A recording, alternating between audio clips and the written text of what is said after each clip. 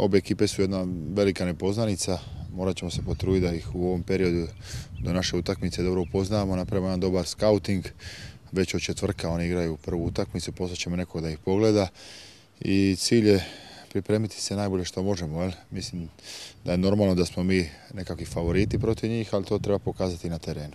Pa evo sigurno da su ove dvije ekipe velika nepoznanica nama trenutno sada, ali sigurno da ćemo ih upoznat kako će se utakmica bližiti. Prvo te dvije ekipe moraju odigrati između sebe i kao što sam rekao kad saznamo baš ime protivnika s kojim ćemo odmjeriti snage onda ćemo saznati više o njima. Ne znamo ni ko je bolji ni ko je lošiji, zato mislimo da ćemo pogledati te dvije utakmice, najbolje ćemo se upoznati i mislim da ćemo dočekati sigurno spremni tu utakmicu i normalno očekujemo prolaz.